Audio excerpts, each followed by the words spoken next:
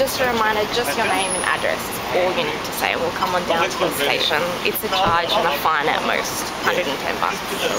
Yeah. I'll grab my gear. I'll grab my gear anyway. Yeah. Move away. I'm moving. I'm moving. I'm documenting you doing your duties. Document me for the Sure. That's what I'm doing.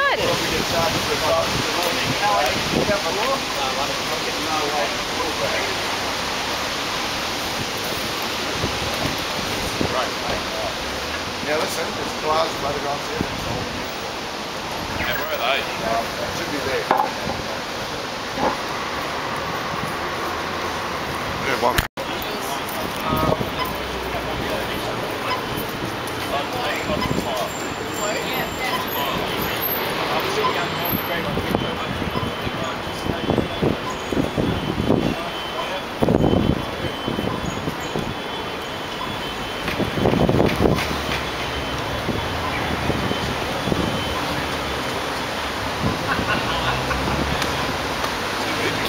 Are you removing our political signs?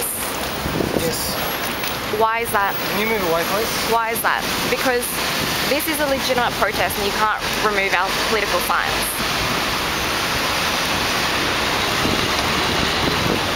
This is illegal, Move away, just to let you know. Okay.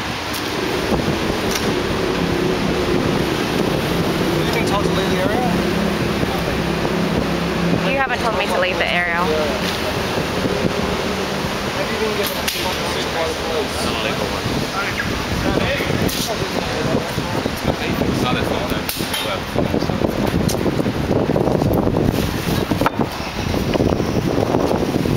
Will you be removing our political signs?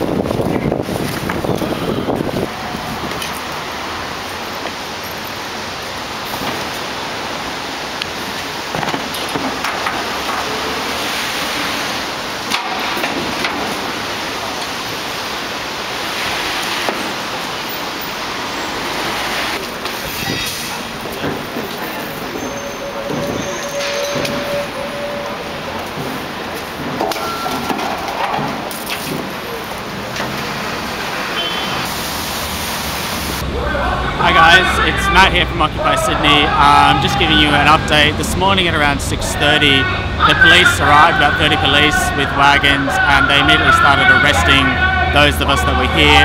There are six people that were arrested. Um, there are obviously the regulars, um, some homeless people, and um, one international backpacker. They're currently being held at the Rocks. Um, there are still some people here, um, a small collection of us that are maintaining the site. Um, we've managed to um, get back some of people's personal belongings. Um, we've uh, arranged for cars to come and pick them up. The plan for today is probably to um, go down to the Rocks police station as soon as we can to wait for those people that are in custody. If they don't, if they aren't released, we'll likely go to court um, and wait for them there to be um, to receive bail. And at the moment, uh, we're probably looking to get people together as soon as possible to decide on where we um, move on from here. Um, but of course, this is certainly not over.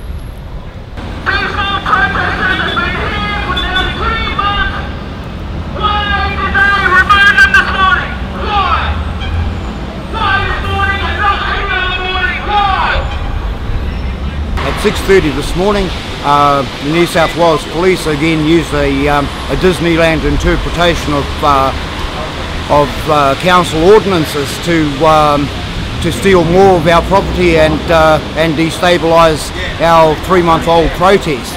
Um, look, their, their substantial point this time um, is that we're staying overnight. We've, uh, we've managed to circumvent that in the past by simply not being here uh, by any definition of overnight.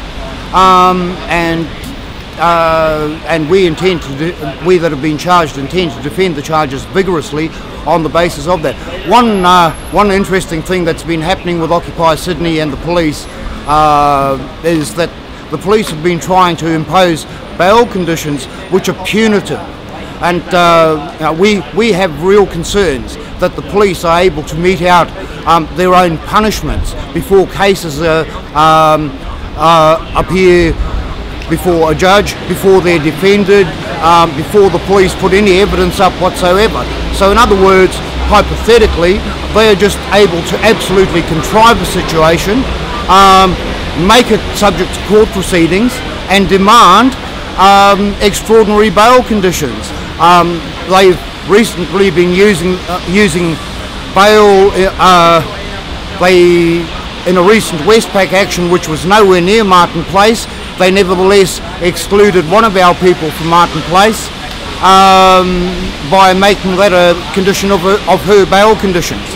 Look, um, this this is a absolutely unfair use of, of law. Um, it's it's not uh, it's not part of what justice is understood to be by normal Australians. And um, whether you agree with Occupy Sydney, whether you agree with protesters or not, this is your rights being undermined as well as ours. And we are not, we are emphatically not going to lie down and see those rights trampled over by a police force that seem intent and hell-bent on applying summary justice.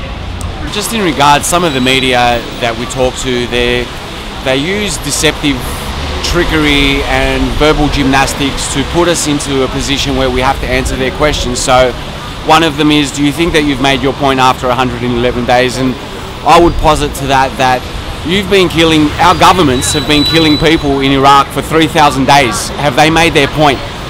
Uh, Goldman and Sachs and the Federal Reserve have been printing, they've printed up to $18 trillion. Have they made their point? BP spilled almost a million barrels of oil in the Gulf of Mexico. Did they make their point?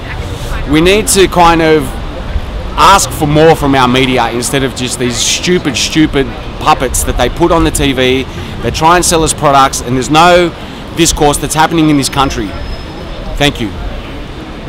Occupy Sydney are and will be rebuilding our occupation from tonight. And if the police come and smash that, we'll build two, then three, then four, until they get absolutely sick or the public deauthorise them from applying summary law before the courts have the chance to determine whether they're right or wrong. And you should note that in a previous case on very, very similar charges, the judge did rule that there was no case to answer. So there's a fair chance that there's no case to answer on anything else they put up.